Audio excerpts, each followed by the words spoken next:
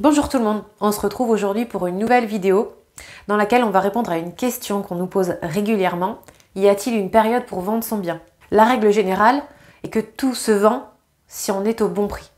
Généralité à part, on peut remarquer qu'effectivement, il y a une certaine saisonnalité où les acquéreurs potentiels sont moins disponibles et moins attentifs au marché immobilier. Par exemple, le mois d'août, ou par exemple la dernière quinzaine du mois de décembre où les gens n'ont pas la tête à ça, ils sont soit en vacances, soit pensent aux cadeaux euh, des enfants ou de la famille. Les événements conjoncturels participent aussi à un climat défavorable concernant le marché immobilier, à savoir par exemple le Covid avec le confinement, forcément, l'Ukraine avec euh, les guerres, donc l'instabilité, les élections aussi. On le remarque chaque année quand on, a une élection, euh, pendant cette période-là, le marché immobilier ralentit. Finalement, un climat d'insécurité va inquiéter les acquéreurs et seront donc moins présents pour leurs recherches et moins sur le marché immobilier. En d'autres termes, la situation pérenne de l'acquéreur est un facteur indispensable à la bonne réalisation de son investissement, tant sur l'aspect financier que sur son quotidien.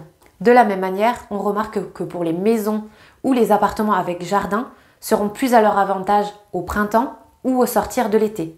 Le jardin est mis en valeur, on a donc plus de surface à proposer. On peut favoriser le coup de cœur de l'acquéreur. On a donc de l'espace supplémentaire à vivre. On a donc plus d'arguments pour vendre, peut-être même parfois plus cher. En d'autres termes, on a plus d'acquéreurs, certainement plus de propositions et donc moins de négociations.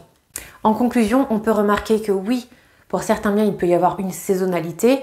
Cependant, comme on l'a dit en début de cette vidéo, tout se vend si on est au bon prix.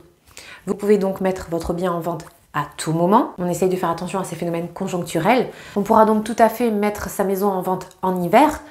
Pour autant, on pensera bien à faire attention à la luminosité. On ouvre les rideaux ou on allume la lumière en amont pour ne pas ternir l'image que va se faire l'acquéreur en entrant dans votre bien.